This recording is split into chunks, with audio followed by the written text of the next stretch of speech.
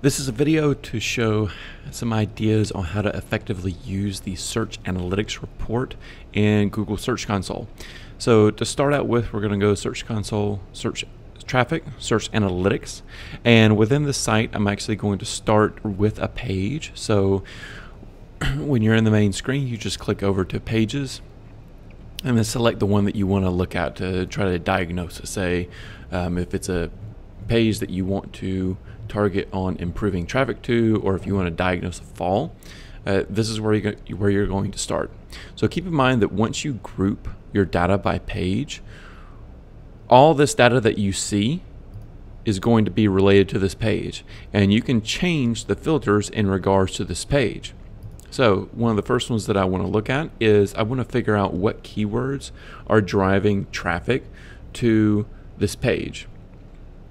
So now this page is selected, click over to queries. And I can take these queries and I can see, okay, these are the top terms that are driving clicks to this page. This is the number of times that this page has ranked or been seen by a searcher when they type in this query. So people who search for iTunes BPM, they've seen it 294 times, they've clicked 20 times. And so this kind of gives me an idea of what Google sees this page as relevant for. There's a couple things that you can do with this. So if you're looking for ways to improve this page, you can go over here and sort by impressions and you can look to see what pages is it getting impressions for? So Google is showing it as relevant, but it's not getting any clicks for. All right, and so here's a query. So BPM counter. So this is beats per minute counter. Or uh, you know, this is going to be a basically a tool that you can analyze a song with, find out how many beats per minute it is, and then use that for. Um, in this case, the post is about running. And then here's another one, BPM playlist. It gets a good many impressions, but it's not getting any clicks. And so what this is telling me is that even though this page is ranking as relevant, it's not exactly what people are looking for when they're wanting this. Or this piece of content doesn't include a playlist or a counter. So I could take that idea and either add it to the post, you know, add like a little tool, add some playlist suggestions, or I could go and create new posts that specifically target BPM counters because I know that there's pretty good search volume that is showing up, but there's not really anything out there. I can also do things like if I want to diagnose a rise or a fall, I can add position. This will show the average position of all the queries on this post. Um, pretty unchanged over the past few months, but you can also go and look for queries that are within striking distance.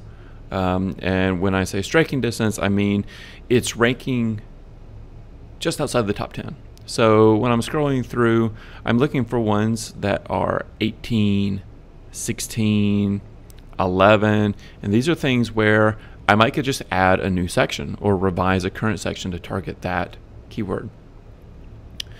Uh, and then the same thing for you can click over to CTR, which is click through rate, and you can adjust, sort it by click through rate and see which ones you're getting impressions for. You might even be getting clicks for, but you're not getting anyone clicking through. And with that, you might be able to edit your title or edit your meta description to increase that. So there's a lot of things that you can do with queries. Um, it's just a matter of deciding what exactly you're looking for. But that's not all. You can also go and filter by countries to see if you're getting the right traffic from the right countries that this, you know, content is targeted for. Um, this content specifically mentions Spotify a good many times. Spotify might not be available in some countries, it might be available in some others.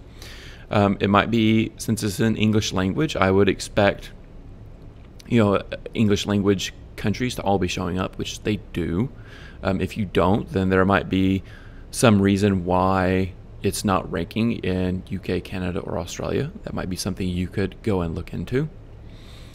And the other thing is that you can filter by device and you can find out if this is something that people search for on their mobile, on their tablet, or on a desktop. And you can customize, revise content to meet that need. And don't forget that you can also do CTR and position based on device. So in this case, it's ranking particularly well on mobile and tablet. That might be because this page is responsive, it does really well. Um, when you load it up on a phone, and so this page might be benefiting from the boost that Google says that it gives to mobile friendly pages in the SERPs. Um, but again, you can also add CTR and see if it has the same. So for some reason, the CTR on this page is much, much more higher on tablet. So if you're going to try and figure out ideas on how to fix this piece of content, diagnose a drop, try to figure out how to make it increase, how to make other pieces of content on your website that may perform better or worse, you can do that.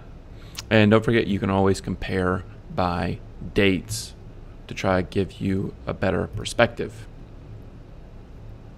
So that's a few quick ideas on how to use search analytics. The basic rule of thumb is to remember that you can always click further down and you can always apply more filters to different ways of grouping it so that you can find exactly what you're looking for um, so that you can actually make change on, changes on your website that are going to make a difference in search.